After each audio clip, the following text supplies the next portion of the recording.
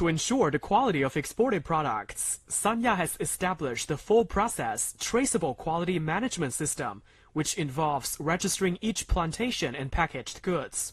Over the years, under the supervision of Sanya Customs, fruit exports from the region have maintained a good reputation without any complaints from importers.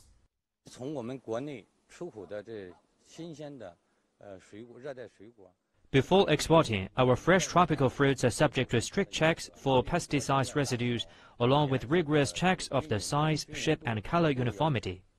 Since the beginning of this year, Sanya Customs has approved the export of 32 batches of tropical fruits worth over 3.1 million yuan and a weight of 71 tons, mainly comprising dragon fruits, mangoes, and lychees. The fruits were shipped to Canada, France, the United Kingdom, Italy, and other countries.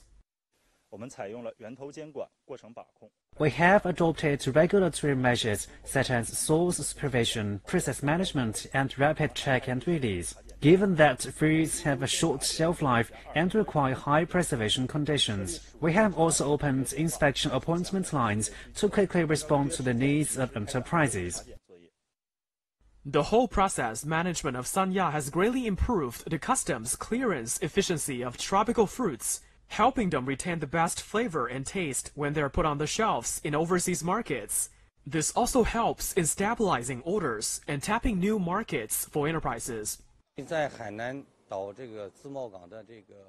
Through the beneficial policies of the Hainan Free Trade Port, the customs have given us great support when exporting products. From picking fruits in Sanya to selling them in Italy, it takes only two days. Sending fresh fruits to the customer's table yields the highest value. Lin Wo, SSTV for CGTN.